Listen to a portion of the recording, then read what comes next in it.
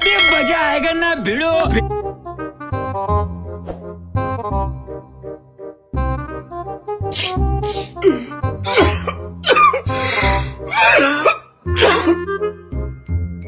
कैसा लगा मेरा मज़ाक?